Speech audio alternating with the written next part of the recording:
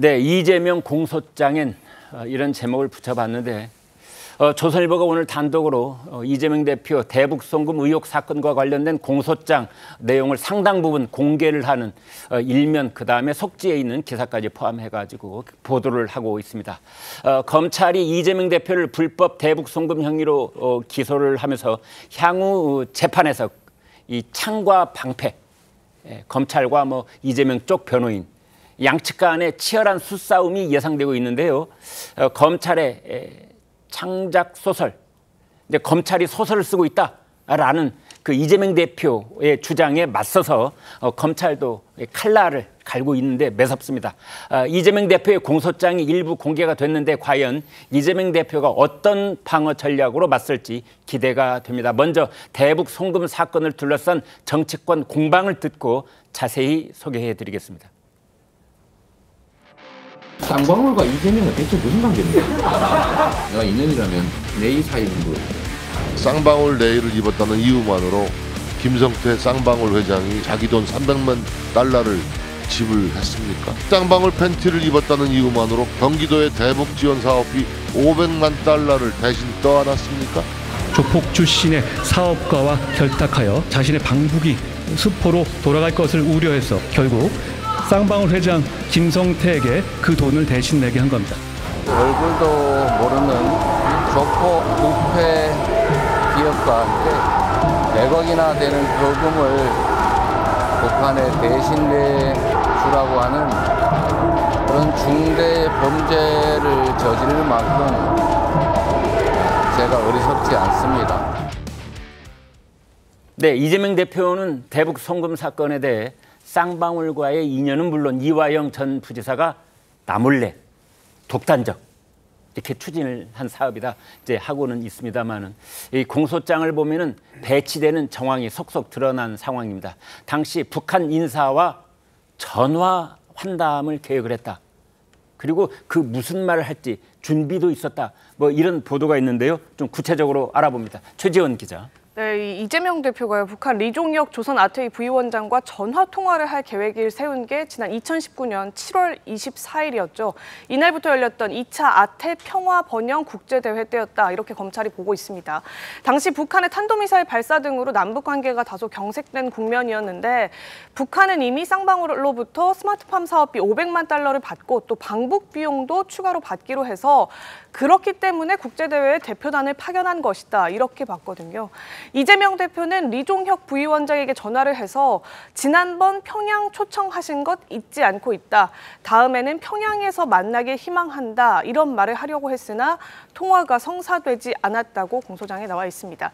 그러나 필리핀에 있었던 이 이화영 씨 등이 송명철 조선 아태이 부실장으로부터 이재명 지사가 오게 된다면 김영철, 최룡해 등 북한의 고위급 인사 둘 다 공항에 나오고 최신형 헬리콥터와 차량도 준비하겠다는 구체적인 의전 계획까지도 전달받았다고 합니다. 검찰은 이 행사 직후에 김, 김성태 전 회장이 약속한 300만 달러 중 70만 달러를 북한 리오담에게 전달한 것으로 파악을 했고요. 이재명 대표는 이에 대해서 검찰에 이화영 씨가 나몰래 독단적 적으로 추진했다는 취지로 진술한 것까지 지금 전해지고 있는 상황입니다. 네. 지금 최 기자 어, 말하고 있는 그 내용 중에 보면은 어, 리종혁이라는 조선 아태위 부위원장이 나오는데요. 올해 나이가 87세, 예전 계산법으로 하면 88세입니다. 어, 북한의 대남 창구 중에 최고위직 중에 한 명이고 리종혁은 김정일과 중학교, 고등학교, 대학교 동창입니다.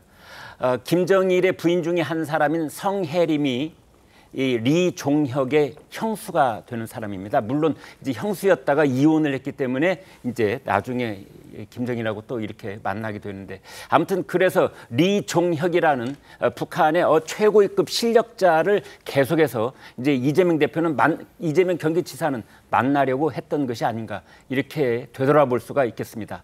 어, 이 대표가 어, 리종혁과 전화 아, 환담을 계획할 당시 필리핀에서는 어떤 얘기가 오가고 있었느냐 살펴보면은 어, 당시 이화영 부지사와 북한의 송명철이 만났습니다. 어, 송명철은 어, 리종혁급보다 이제 한참 밑이라고 볼 수 있습니다. 어, 조선 아태위에 있는 부실장급입니다. 물론 실장도 따로 있는데요. 성명철이 이렇게 말을 합니다. 어, 이 지사가 오면 김영철, 최룡해 이제 북한의 최고 실력자 그룹에 속해 있는 사람들이죠. 그 사람들이 직접 이제 이재명을 맞이하기 위해서 의전도 하고 뭐 마중도 나오고 공항에도 나오고 그다음에 최신형 헬리콥터 동원하겠다. 이제 북쪽에서 쓰는 말 중에 최신형이라는 말에 저는 잠깐 관심이 가던데요. 그러니까 저기는 낡은 헬리콥터나 차량들이 많아서 최신형이라는 말을 강조해야 되는 그런 상황이었지 않았는가 아, 그렇게 보여집니다. 그 내용을 좀 보겠습니다. 최백목 국장께 말씀드려 보겠습니다. 어, 그러니까 당시에 이재명과 이화영 지사와 부지사 뭐 역할 분담이 있었던 것 같아요. 뭐 저는 역할 분담이라고 보지 않고요. 네. 이화영 부지사가 이재명 지사의 지시를 받아서 아, 예. 어, 이제 집행을 하는 그 대북 사업의 총괄 책임자죠. 아, 예. 사실상 그 지시 사항은 이재명 경기도지사가 한 겁니다. 네. 뭐 잘 아시다시피 지사와 부지사의 관계는요, 이 대등한 관계가 아닙니다. 어? 그렇죠? 네. 어, 이화영 부지사를 이재명 그 지사가 임명한 사람 아닙니까? 네. 임명했을 때 원래 저 자리가 그 남경필 도지사 시절의 연정 부지사 자리입니다. 아 예. 요즘으로 얘기하면 뭐 정무부지사 이런 거 있지 않습니까? 네. 근데 그거를 이름을 그 평화부지사로 이재명 경기도지사가 당선되자마자 바꾼 거거든요. 네. 그 얘기는 대북 사업을 앞으로 하겠다. 어, 그게 2018년 7월이에요. 네. 그러니까 하겠다 이렇게 생각하고 이화영이라는 대북 사업 경험자를 평화부지사로 갖다 앉힌 거예요. 네. 그렇기 때문에 이 관계는 역할 분담을 할 관계가 아니고요. 아, 그렇네요. 이재명 지사가 시켜서 이화영 부지사한테 이런 걸 하라 이렇게 얘기한 거고 네. 그 이후에 2018년 7월에 보면 이재명 지사가 자기 취임한 직후에 업무 지시를 내립니다. 경기도에. 네. 네. 자, 대북 사업은 어, 정기 보고를 별도로 하고 자기한테 그리고 월말마다 그 종합적인 추진 상황을 본인한테 제출해라. 네. 이런 지시도 하거든요. 네. 그렇기 때문에 이거는 철저하게 이재명 지사의 지시에 따라서 네. 그리고 뜻에 따라서 이화영 전 부지사가 집행을 했을 뿐이다. 이렇게 이해하면 됩니다. 말을 바꾼다면은 위아래가 분명한 한 몸처럼 움직였다 이렇게 봐도 되는 겁니까? 그런 거죠. 이재명 지사의 지시가 없었다면 이화영 전 부지사는 대북 사업을 할 수가 없는 거죠. 당시 이재명 지사와 리종혁 부위원장은 어, 전화 환담이 불발이 됐습니다. 아, 그런데 그해 11월 어, 일산에서 경기도 일산, 경기도 고양시 일산입니다. 경기도와 대북 협력 단체 여기서 대북 협력 단체는 이제 우리 한국 쪽에 에, 그쪽이 공동 주태를 주최를 한 교류 행사가 있었는데요. 당시의 모습을 보시겠습니다.